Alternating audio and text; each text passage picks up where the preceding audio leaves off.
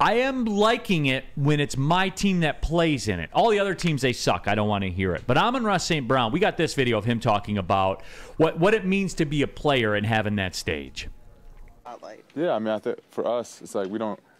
Well, since I've been here, I haven't had too many primetime games, so to get them is nice. Um, you know, everyone's watching. Um, got to put on a show for everyone. Um, we got to play our best brand of football, but it's just nice to know, you know, it's the only game that's on. It's the only game that people can watch, and um, at you know, like at Lambeau, division rival, it's gonna be it's gonna be exciting.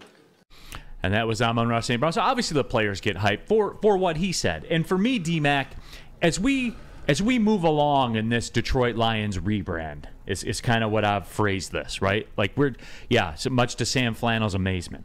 Uh, we as we trudge along in this Detroit Lions rebrand, because I think that's what it is.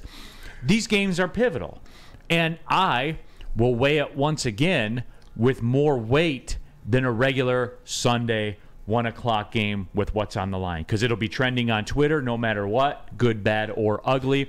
People watch; they're going to watch it. Period. End of story. There's a huge opportunity again. And you know what the beauty, I, and I haven't heard anybody say it because it just sort of came to came to mind listening to Amon-Ra St. Brown. Having these two Thursday games or whatever, regardless, the imperativeness to win this because of the time you get off and and hopefully can get back some of these guys that are that are dinged up. Now I hope Decker and Montgomery play.